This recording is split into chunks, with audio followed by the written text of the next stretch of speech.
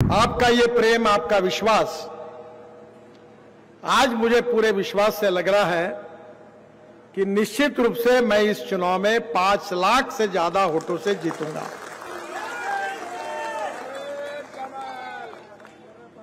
इस शहर में मेरी स्मृतियाँ है।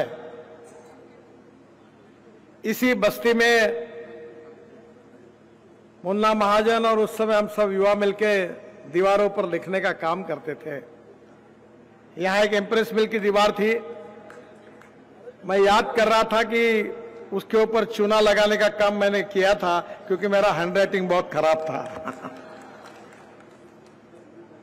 आप सब लोगों ने मुझे बहुत प्रेम दिया। ये जितनी बातें बताई जा रही है, मैंने टनेल्स बनाए एक्सप्रेस हाईवेज बनाई बड़े बड़े ब्रिज बनाए, गंगा पर 11 ब्रिज बनाए। ब्रह्मपुत्रा पर बनाए।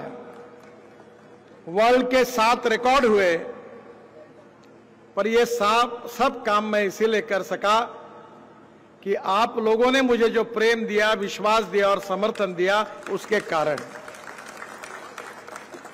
अगर आप नागपुर में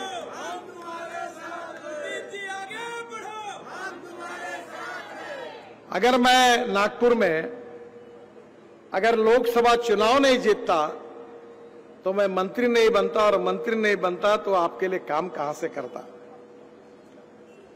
तो जो मैंने कुछ काम किया है, उसका श्रेय मेरे सामने बैठे हुए सभी कार्यकर्ता भाई और बहनों को है।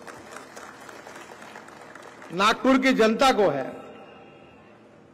और इसलिए मैं दुनिया में कहीं भी जाता हूँ तो नागपुर को कभी भूलता नहीं हूँ न कभी भूलूँगा।